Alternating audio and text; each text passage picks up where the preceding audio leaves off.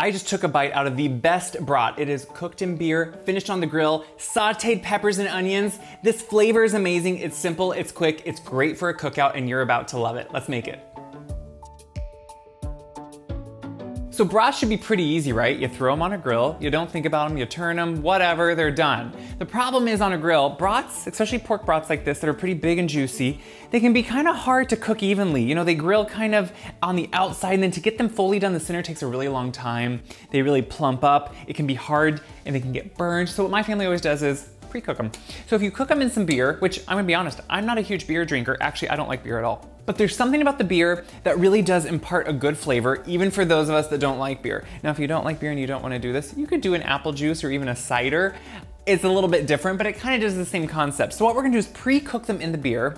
We're going to saute and then braise some peppers and some onion for a topping. And it really, to me, makes the best grilled brat because we finish them on the grill to get that char broiled outside, that char from the grill, but cook them inside so they're fully cooked. It's really a win-win. So to start, we're gonna take our brats, and our beer, which I don't say too often, but you know what? In this case, it really does. It works well. So I have uh, just a nice kind of shallow pan. I'm gonna put my brats right in there.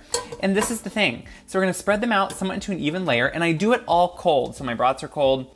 Gonna put the beer right on top. And we want it really to be, you know, we want it to about cover them. So it can take more or less, and depending on your size pan or how many brats, you can kind of change the amount of beer you're doing. So now we're gonna bring it up to a simmer, and we're gonna let them go until they're cooked. So we're gonna let this come to a simmer and that's gonna slowly cook the actual brats. So I'm chopping up some vegetables and this is just more of a topping. So we have peppers and I'm using different colors because it's just fun. Now you know, if you followed me, I'm not a huge fan of raw pepper, sweet pepper, but I love it when it's cooked or sauteed. So what I'm doing to try to make it get them all the right size is I'm cutting the top off and what this is gonna allow me to do is, and I'll, I'll show you here, is cut the bottom off then too. It's gonna allow me to open it up. And when you open it up, you can kind of just cut those ribs out. But more what I want here is even cuts of all these planks that I'm kind of making. So then it will make everything kind of cook evenly and work together more easily. So you can use these and just eat on them if you like them, use them on pizza, whatever you want. But what I'm doing is then putting them on top of each other and you get these nice kind of perfect planks. See how that works? You get these nice planks. And so then all the different peppers are somewhat even. And I think it just works well on top of brats to have them like this. I like the sizing. I like the planks. And I just like how they look. So that's why I chop them up like that. And same with the onion. Cut it in half. I cut the root end then off. And then I just slice it.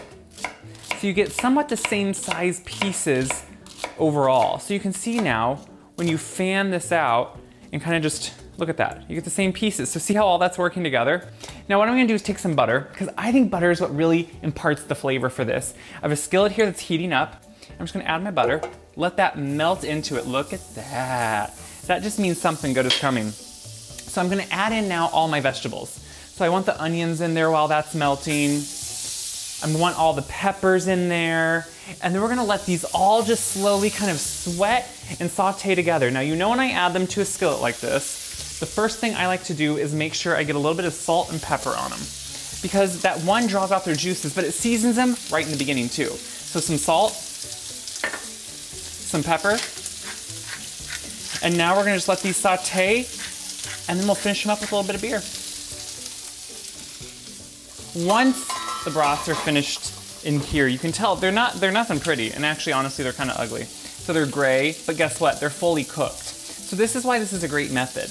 You don't have to guess and have guesswork on the grill because it's all gonna be done pre in the kitchen. So what it leaves though is this really flavorful liquid down here. So before I take these out to the grill, what I wanna do is just grab a ladle and put just a nice little bit of this to kind of braise all of those onions and peppers. So that's gonna leave a little bit more flavor and it's just gonna slowly cook with them. So you can always add more if you want to, but it's just kind of a nice way to just slowly braise them. So I'm gonna grab a hot pad, we're gonna go out to the grill, we're gonna give these some nice char, a little bit more flavor, then we'll be done. So I have a hot grill, and now we're just gonna give these some nice marks all over. So we're gonna put these around the grill. You get the sizzle, you get the flavor. It kind of makes it a nice quick process too. So I'm gonna, you know, turn these at least once during grilling just to make sure they get a nice kind of char on both sides. Then we'll take them in, we'll assemble. just pull the brats off the grill and you can see you get the nice char, you get the darkness, that's the flavor and that's what you want. So now it's really all about assembling, which is however you want to. I like a little darker one personally. I'm gonna want a lot of that char mark on it. I get that from my grandma. She loved a good burnt piece too, especially like on like a casserole potatoes. So I'm gonna put some mustard on it first. To me, is it a, is it a brat without mustard? No, I don't think so. So gonna get the mustard and then you have all of these wonderful braised, which can you see the liquid? We kind of just cooked off that beer liquid we added, which I know, okay, if you're saying, I'm not a beer lover, guess what? You're talking to the ultimate non-beer lover. I don't like it, but in this, it almost becomes a little bit sweeter. It gets the flavor. I don't know, it's, it's, it's good. And I don't like beer. But uh, if this doesn't look like a grill out or a cookout, summer right here, I don't know what does, but I'll try it for you. This is gonna be about as messy as I can get. Mm. all over me. That is so good. What is good about it, that brat has so much flavor. Which yes, a good quality brat of course should, but there's something about cooking it in the beer.